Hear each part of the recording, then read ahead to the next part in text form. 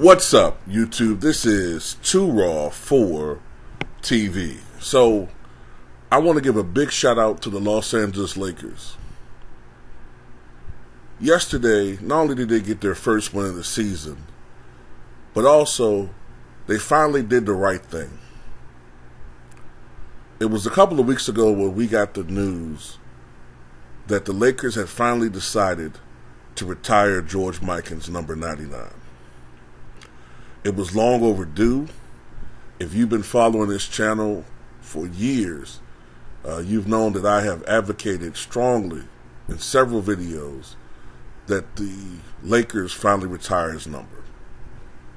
Um, for a very long time, when I was growing up, the Lakers did not really acknowledge their Minneapolis heritage. As a matter of fact, if you remember a lot of Lakers uh, apparel back then, they only counted championships during the Los Angeles era.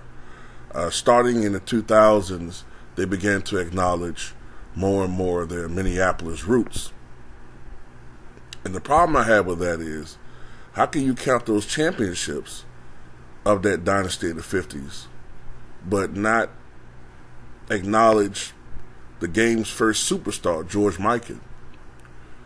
Now, the Ring of Honor was nice. It's nice that he was in the Ring of Honor, but with his contributions to the Lakers and the NBA warranted more than that. Now, me personally, I think Vern Mikkelsen and Slater Martin and Jim Pollard's jersey should be retired as well. I don't know if that's going to happen, but George Mikan was a no-brainer. And I salute the Lakers for retiring his jersey. All right. George Mikan was the anchor of five NBA titles, uh, starting, I think, during the 40, was it the 48 49 season, I think it was. Um, he was the league's first true superstar. There were stars before Mikan, you know, Joe Fulks, uh, Brad Davies, Max Zaslofsky, but George Mikan was the league's first superstar.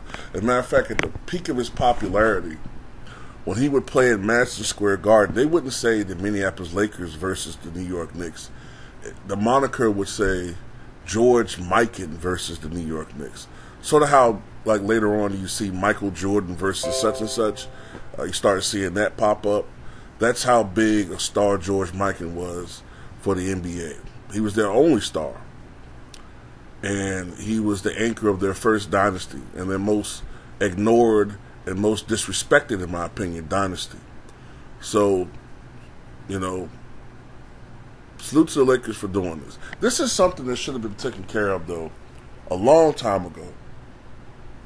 Prior to the rise of Jeanie Buss, prior to even when Jerry, uh, Dr. Buss took over the franchise. This is something that should have been taken care of when Jack Kent Cooke owned the team. And I mean earlier on. This is something that should have happened at least in the 1960s. Uh, but it finally happened. Unfortunately, George Mikan isn't here to see it.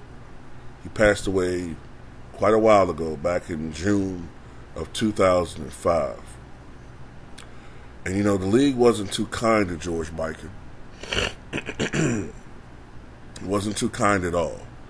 George Mikan, uh, unfortunately, suffered in ill health the last few years of his career.